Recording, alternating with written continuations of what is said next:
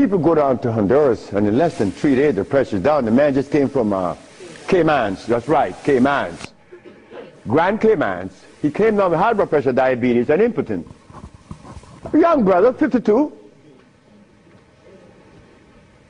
Three days later, man, my pressure is down. Dr. Sebi, my pressure is down. See, yes, I know that. What's the problem there? Why are you so amazed?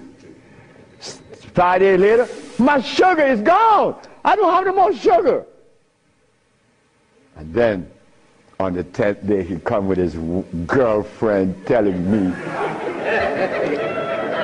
I like to see that. Because I was impotent. And these old folks in Honduras was telling me to drink eggs and wine and meat, cheese, butter. And the Mexicans say, you're crazy. Stop eating, and you can get all the sex you want. Stop eating, and it happened. So, brothers, if you're in trouble, stop eating. And there's a product outside, they call it Viento. Brother, I don't care how much in deficit you are, you will be out in less than 24 hours. I know. I have to be abreast with that because my wife is 20 years younger than me. I can't allow this woman to get ahead of me. You understand? And she looks good and she's youthful. So I have to maintain energy. And I want all of you brothers to understand that that that uh that stuff that we eat, wait. Just draw this for you, that we would see what it is I'm talking about. Because this is important.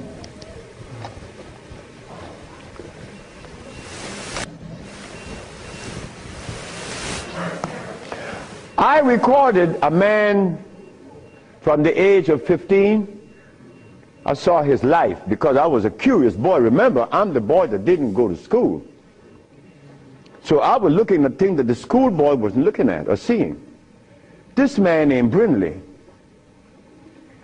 he was in his 20s. I was 21, he was 25, four years older than me. And he was the, the dude, a woman's man.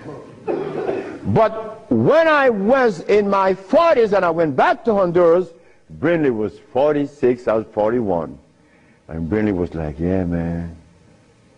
Yeah. Yeah. His wife gone. She's a seamstress. She's gone a long time. But when he was young, he had every woman in the world. I said, Brendan, what happened?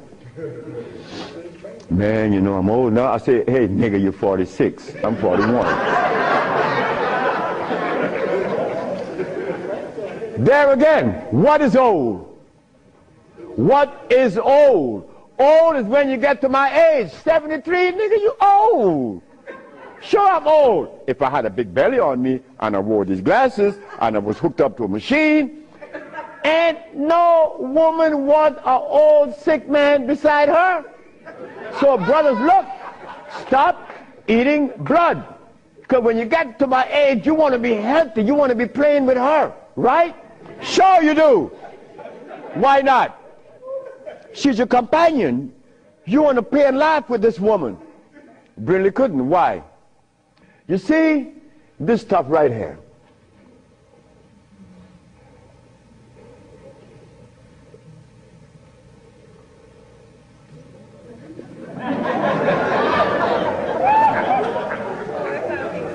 this is what a man plays his manhoodness with, his penis. Yeah, I'm a man. But in here,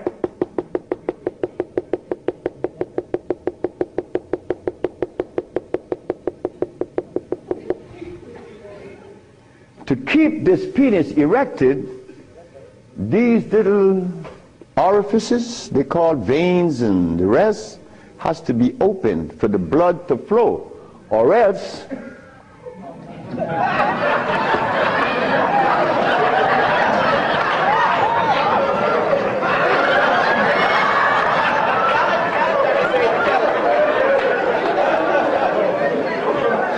you, you think I can't talk about it? I was 30 years of age. That was happening to me. And the last person that saw that was a woman named Audrey Williams. She said, What's wrong with you? I said, I don't know. She said, you're sick. You better see a doctor because you're too young. You're 30 years of age. And I did. And it happened. But I had to stop eating. On the first, second, third, fourth, fifth, sixth, seventh day, I was happy. On the 8th, 9th, 10, 11, 12, 13, 14, I was going and holding on to the bathroom. I was everything was spinning around. Why? Because all of the mucus that was leaving my brain, my eyes was very foggy. I couldn't see. I was already wearing glasses, but now it's worse. But on the 17th, 18th, 19th, on the 17th day I woke up, I was looking at the ceiling, and I remember feeling so calm, a feeling that I had not experienced in many, many, many years. I was calm, on the 27th day, I didn't hear the wheezing in my chest from the asthma. My diabetes, I couldn't find glucose in my sugar. But on the 57th day of fasting, of not eating anything, I had an erection. Why? Why? Aha! They drain out. It drained out because I was taking these herbs and drinking water taking these herbs and juice and drinking water. And the body got a chance to do what? Cleanse itself. You see, it's easy. It's easy to bring back that happiness that we could love, that we could share,